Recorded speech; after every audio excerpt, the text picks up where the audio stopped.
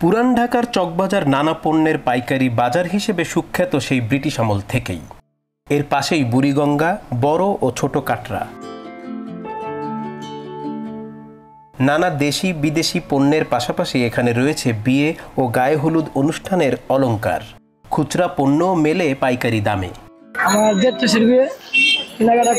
কিছু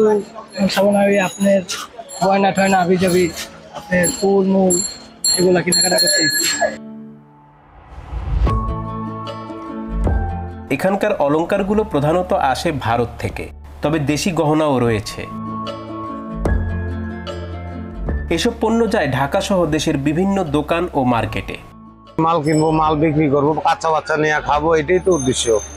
কিন্তু যেই অবস্থান দেশের দ্রব্যমূল্যের যে বৃদ্ধি এগুলা বলার মতন আর রাখে না। ব্যবসায়ীরা বলছেন আজকাল ব্যবসা ভালো যাচ্ছে না। তেমন একটা কাস্টমার আপাতত নাই হয়তো কাস্টমার কিছুদিন পর পড়বে এখন তো প্রচণ্ড গরম। আর ঈদের পর এমনি তো বিয়ের চাপ থাকে তবে সেই অনুযায়ী এখন ওরকম কাস্টমার নাই। ঈদের পরপর সাধারণত ব্যবসা কিছুটা মন্দা যায়। উৎসব ও বিয়ের মৌসুমে বেচাকেনা জমে ওঠে। এখন ঈদবাঙ্গা বাজার এখন একটু ম- মন্দা থাকবে তাছাড়া পরীক্ষা চলতেছে তো এসেছি এই যে কারণে একটু বাজার ঠান্ডা।